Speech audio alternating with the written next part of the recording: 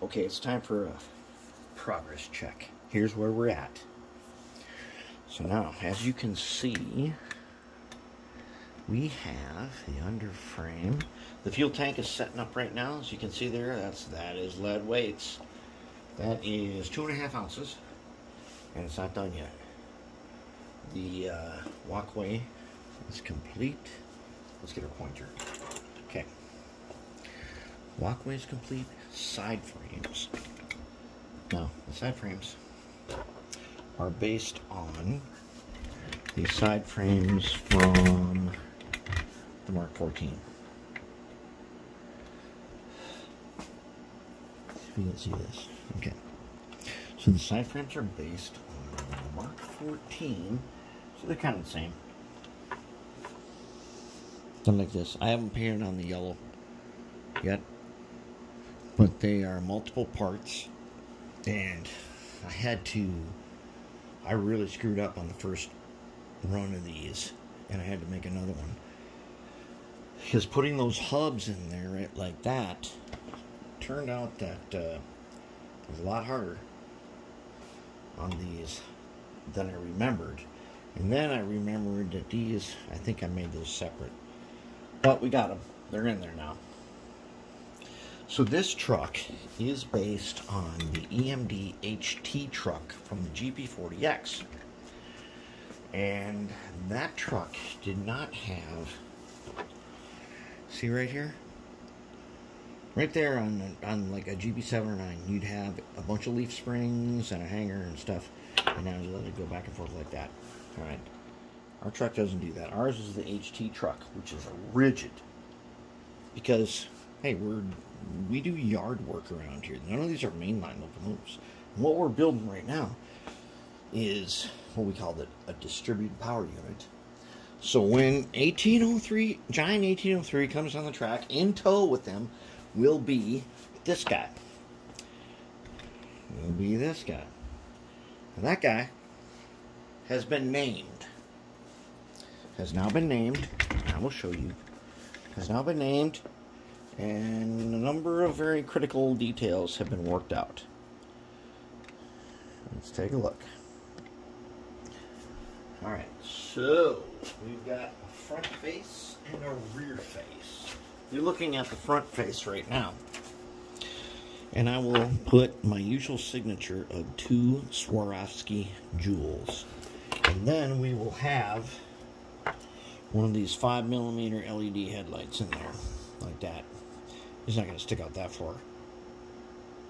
I don't, I don't know. Maybe, gosh, maybe he is. Maybe we need a big nose. Anyways, he's got this opening. And in that, I'm going to put this here mosquito screen. That's right, I'm using mosquito screen. Not using scale screen, I'm using mosquito screen that I got at the hardware store. Okay. And he it says on here he is one of the series of the. You can see very carefully, it's engraved. This one is one of the series of Janus Mighty Calves. When I paint that, you'll be able to read it. Yeah, this is one of the Mighty Calves. This particular Mighty Calf, on the other end, has this face. So, my good lord, who's got this face? As my daughter says, he's got the frowny face. And on the frowny face, it says, it's a little burnt right there, but it, it does say Dozer. This guy's going to be called Dozer. He gets two headlights like that. I found a dozer that had kind of a face like this. So you can see he's got two eyes and a nose, and there's his frowny face. And then we're going to do, at I think, two editions of Oyster Tin Theater. Because, one, we got to make a. Since he's going to be Dozer, he's known as Dozer because you can have a gigantic oyster tin snowplow. And then, as you can see here, we need to make steps. I'm not 3D printing them this time. And I'm not making them individually. I'm not doing styrene. What we're going to do is we're going to take some oyster tin. We're going to make a set of steps. We're just going to bend it as a, from a strip. That's what we're doing. We're not messing around this time. We don't got time to do that. As you can see here, see the, the side frames? They will actually go onto the ends of the axles, but we can't really have that because it'll take away our our um, independent suspension. But they'll be on here like that close. And then these guys, those hangers, I figured out I don't need to solder them hangers. Put one on the front too, the same one on the back too, on both sides, and solder just one of them. Those will touch each other, and that'll be our power pickup. And we're gonna need awesome power pickup. And then we've got the Rev 1 motor. He's got Pug's platform on him right now. That's Pug's platform.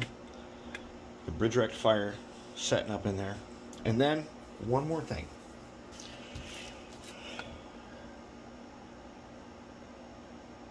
DH166D. I'm thinking we're going to do that. I haven't done it yet. I've been saving those. I don't know why. Why not do it on this guy? All it does is add two light, light functions. So we're going to do our usual light bar like that. We're going to have a beacon. We're going to we've got uh, so we've got headlights. And we take two wires. The snowplow is going to have some big old panels like our crane has. That'd be another function. So then we would have one more function, which will probably be, which will probably be something like the light bar. Who knows? But we're going to have some uh, blue lights underneath this. We don't have speed recorders. We got those blue lights. The blue lights will be the speed recorders. That's where we're at. We're looking pretty good. Now here I'll show you one more secret deal. So if you want to figure out how to do something you can't figure it out, this is how I do it. See that? My little girl drew me different faces. And we went with we went with this face, with those dots, and that face. That's how we're doing it. Who cares what people think? It's a character called Dozer, and Dozer's to be cool. That's what we got. That's where we're at. We're getting closer.